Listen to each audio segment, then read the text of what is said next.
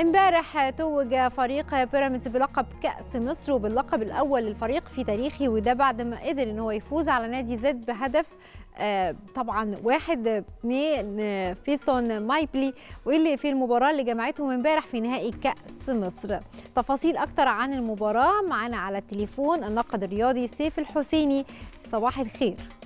صباح الخير يا دينا وصباح الخير على الجميع. أكيد أنت شفت امبارح فوز بيراميدز إزاي على نادي زد في نهائي كأس مصر خصوصا إن أول مرة نهائي كأس مصر ما يكونش بيلعب فيه الأهلي ولا الزمالك. آه طبعا. ودي كانت فرصة لل- للفرق كلها إن هي تحارب إن هي توصل للنهائي يعني. مم. وشفنا قدرنا شفنا إزاي إن بيراميدز طبعا طبعا عنده خبرات و- والموسم ده كان كويس جدا. فكان وصوله يعني كان أكيد للنهائي كأس مصر في ظل عدم وجود الزمالك. والأهلي. آه، لكن زد هو اللي قدم آه، بطولة كويسة جدا جدا وشفنا إزاي آه، في الماتش في النهائي قدم شوط رائع جدا. أول ضغط نادي بيراميدز بقوة وقدم واستغل الثغرات اللي في الجبهه اليسرى بتاعت نادي بيراميدز. نادي بيراميدز اللي فيها محمد حمدي وفيها كريم حافظ. آه، قدم شوط ممتاز آه، نادي آه، زد صراحة آه، وضغط جامد آه، بيراميدز وكان آه، قادر إن هو يسجل هدف واثنين لكن آه، ما كانش ما كانش حاسم جدا في وق- في بعض الوقت يعني من الماتش. آه، لكن الشوط الثاني شفنا إزاي بقى بيراميدز يعني إيه آه، دي الخبرات اللي موجودة عند لعيبة بيراميدز آه، استغل الموضوع طبعا التراجع البدني لنادي زد اللعيبة عملت مجهود جامد جدا الشوط الأول. بيراميدز آه، طبعا سيطر الماتش الشوط الثاني كله آه، في ظل تراجع لعيبة بيراميدز. طبعا يعني لحظة كده هفوة من لاعبي آه، زد جاي منها جون في الدقيقة الأخيرة. وطبعا صعب إنك تعوض قدام بيراميدز يعني والخبرات بتاعته. خلاص كان فاضل حوالي بتاع 10 دقايق بالوقت البدل ضايع. قدر نادي بيراميدز يتوج بأول بطولة ليه من ست سنين. هم أكيد كانوا محتاجين بطولة زي كده. آه، بالأخص إن الموسم ده هو أفضل موسم لبيراميدز في الست سنين اللي فاتوا.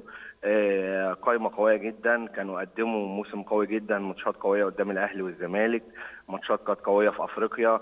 آم، كان محتاجين البطولة دي عشان المشروع يكمل وعشان آه، يبدأوا ينافسوا من أول السنة الجاية بقى منافسة حقيقية من أول من أول يوم في كل في كل البطولات في أفريقيا وفي وفي الكاس وفي الدوري. فده فده يعني كان كان مهم بطولة مهمة ليهم عشان يقدروا يكملوا. لأن لو كانوا خسروا البطولة دي كانت هتبقى في تراجع تاني والموضوع يعني كان هيبقى لا خلاص يعني. اللعيبة كانت هتبدأ بقى يعني الناس آه، تبدا تمشي اللعيبة هتفكر في مشروع تاني. فكانت بطولة مهمة لنادي بيراميدز يعني. يعني أنت شايف إن امبارح الفرق الوحيد اللي هو فرق الخبرات ما بين بيراميدز وزد هو ده اللي خلى فريق بيراميدز فاز امبارح فيه أو ف- يعني حصل على كأس مصر طب أنت شايف طريقة اللعب اللي اعتمد عليها مدرب بيراميدز كانت صحيحة فعلا في إن هو يحقق الفوز؟ آه طبعا آه، طريقة المدرب الكرواتي يوروشيتش آه، اللي هي 4 3 3 في ظل برضه كان عنده غيابات كان عنده زي رمضان صبحي اسم كبير كان غايب كان عنده برضه على الدكة أسامي كبيرة.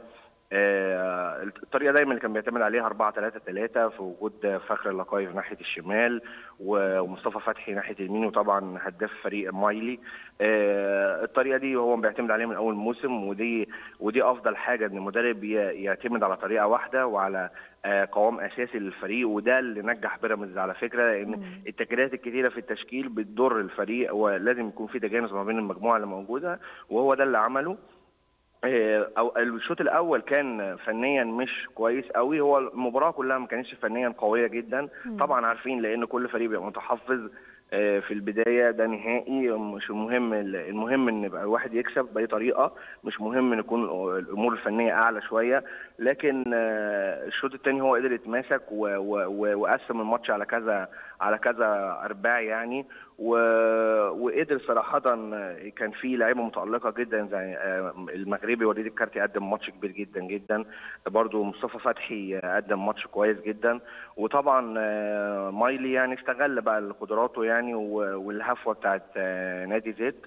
وقدر يجيب الهدف يعني فهو كان وقت صعب جدا إن نادي زد يرجع يعوض لأن القوام الأساسي لنادي زد كان خلاص اللعيبة ال- ال- الأساسيين كانوا تراجعوا بدنيا وبدأوا يطلعوا فاللعيبة البدلاء برضو مش بنفس قوة. اللعيبة الأساسية وده. برغم طبعا تالق علي لطفي يعني حارس زد آه طبعا علي لطفي قدم ماتش كبير وعلي لطفي بيقدم موسم كبير مع زد أصلا يعني. علي لطفي صراحة حارس الأهلي المعار بيقدم موسم كبير جدا مع مع زد و واتوقع ان هو ممكن ينتقل لفريق اكبر يعني السنين اللي جاية يعني.